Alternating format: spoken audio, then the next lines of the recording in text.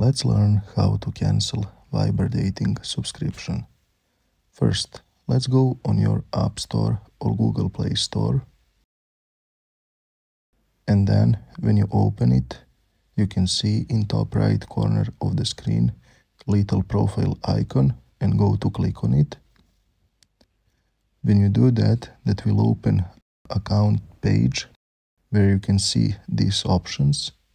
And from these options, you need to go on subscriptions field. When you do that, that will show to you this page and you can see all your active subscription. In my case, I don't have Viber dating subscription.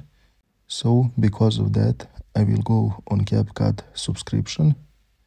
And when you go on your Viber dating subscriptions, you can see option cancel subscription and just click on it and confirm you want to cancel it.